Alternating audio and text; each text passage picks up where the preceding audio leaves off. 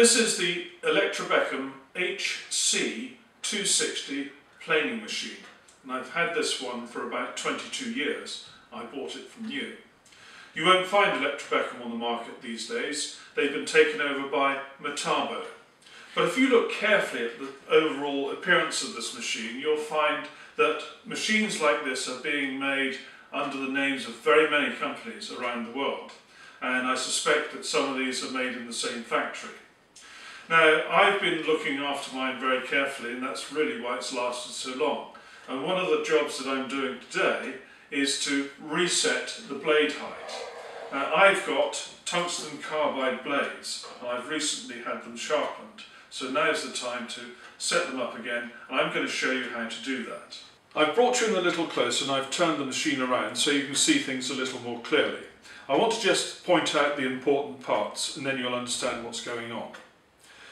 This is the so-called fixed bed and the one on this side is adjustable for height and in this setup as we have it now you would be using it for surface planing or jointing as it's called in some parts of the world.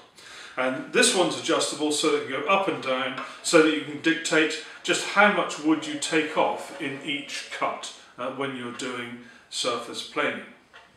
Now the so-called fixed bed actually does get removed when you turn this machine into a thicknesser. But for now, we'll still, still call it the fixed bed because it's this one which we're going to use to take the reference measurements for the height of our blades.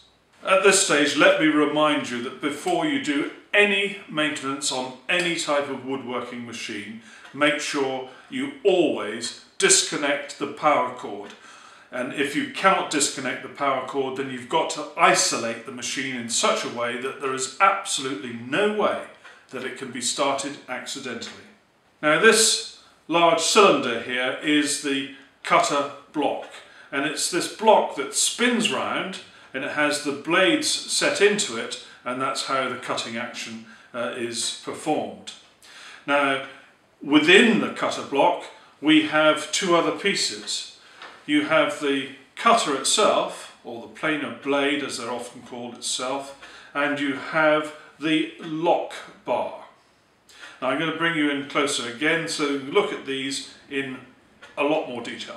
Now my blades are made of tungsten and they're resharpenable and they have a cutting edge just on one side. Some blades are double-sided and some blades are disposable.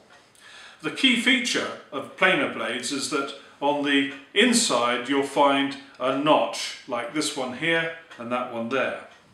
And these notches are there to take the projection from this uh, bolt which goes through uh, the locking bar. And using an Allen key you can adjust the position of this bolt and as you do so, so that flange on the bolt goes up and down. And if you now marry the two things together so that the locking bar and the blade are united, you'll then see that as I adjust uh, the bolt in and out so that blade is going to go up and down. Now, the way you hold this whole assembly in place is very simple. There are four bolts on the back here. And if you were to undo these bolts so that they start to come outwards, then if they're set into the cutter block, you can see uh, the undoing action will actually tighten uh, everything in place and it's through that mechanism that the blade is held precisely where you want it to be.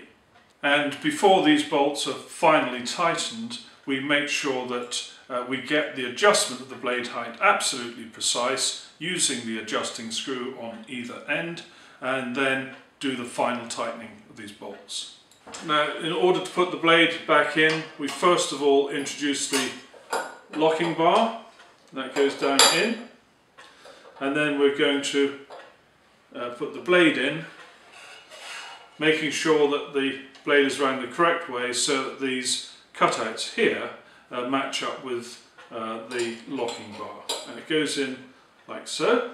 Now we've really got to make sure now that we get those notches in the blades uh, actually sitting uh, comfortably united with the flanges on the adjusting screws which are there. Now initially it might seem a little tricky uh, and it's made slightly easier by just uh, loosening off, in other words it's like a tightening motion, loosening off these adjusting bolts here. Uh, just enough just to get them starting to do something but not absolutely jamming everything in place. Now when you feel happy that you've got that blade engaged uh, with the setting screws uh, then you do need to just do a few checks. First of all check that the blade is correctly centered crossways here so there's not more sticking out one end than the other and then just tighten up the middle ones just a little bit more just so that it help, holds it in place. And we're now going to just make sure that we've got that uh, married up by doing a couple of adjustments at this end and noticing that the blade will go up and down and the same here. Yeah. So everything is united as it should be.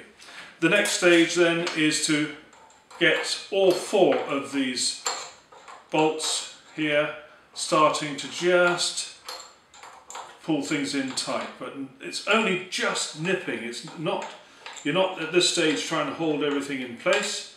You're just trying to get a starting point for the adjustments. Right there we go. So those are just nip and you can check that you haven't overdone it by making sure that you've still got free movement with the adjuster. Okay, well I'll just remind you this is the fixed bed. And I've got here a piece of wood which is perfectly flat and you can check that it's perfectly flat by putting it on the fixed bed and just looking to make sure there are no gaps under there. And this piece of wood is about uh, 45 centimetres long and the purpose of this piece of wood is to give us an idea of how high the blade is. Now the way it's done is very simple. On this end of the piece of wood I've got a pencil line. On this portion of the fixed bed I've got three pencil lines and they are five millimetres apart. And they may not show terribly well but I, you have to trust me, they're there. And the way we're going to try and adjust the blade is to get the pencil line on the piece of wood set over the centre pencil line there and then we're going to move the blade past it and I'll just show you when the blade is at the right height it should just make this piece of wood move a fraction. So at the moment the blade is a little bit too low so we're going to raise it a bit. Bit there. I'll try and do it evenly at this end. Okay. Now I've got it positioned there and as I move the blade you can probably see that's moving by about a centimetre.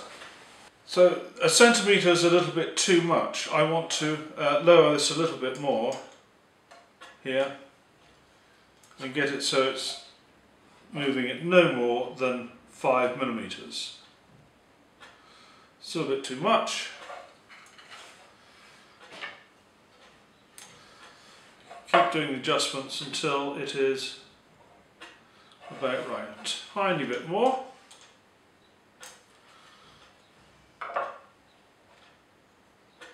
and that's it. That's moving by five millimeters. I now need to make sure the same is happening at this end. And so I'm going to do the same process. Too much at this end again, so I'll close it in a bit. Try again. Still too much.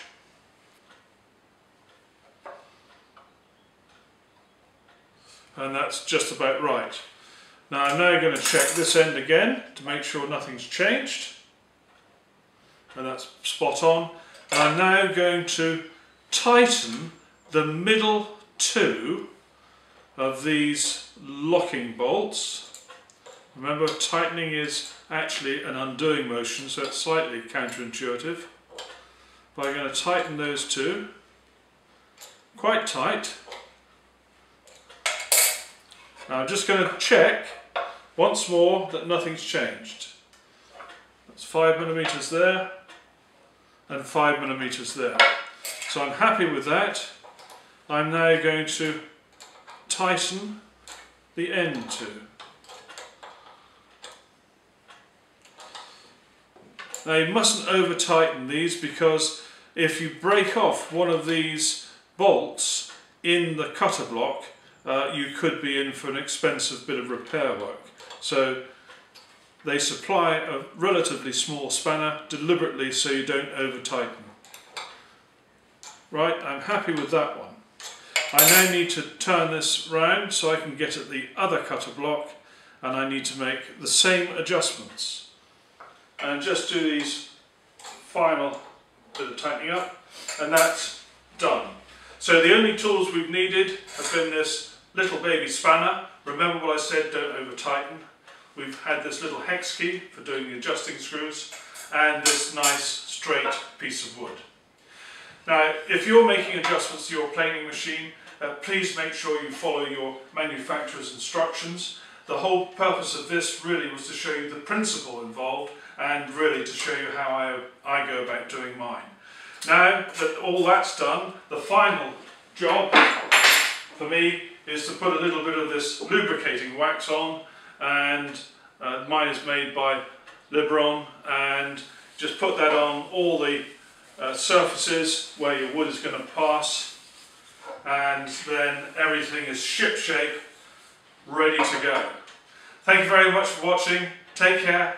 Bye bye.